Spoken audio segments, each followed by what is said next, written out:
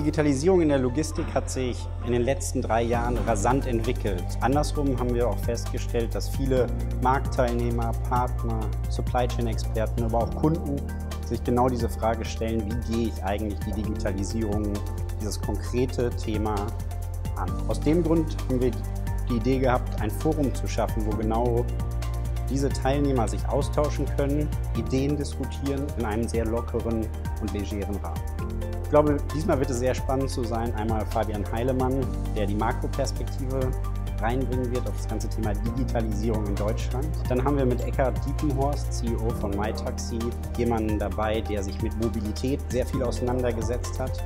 Und schlussendlich mit Ludger Tillmann, jemanden, der über Jahre die Supply Chains von großen Unternehmen gemanagt hat, unter anderem von Scheffler. Berliner Luft und See war bisher sehr erfolgreich, sodass wir uns sehr gut vorstellen können, das beispielsweise in einem halbjährlichen Rhythmus zu wiederholen und würden uns natürlich da freuen, mit jedem Event mehr und mehr Teilnehmer für dieses spannende Thema begeistern zu können.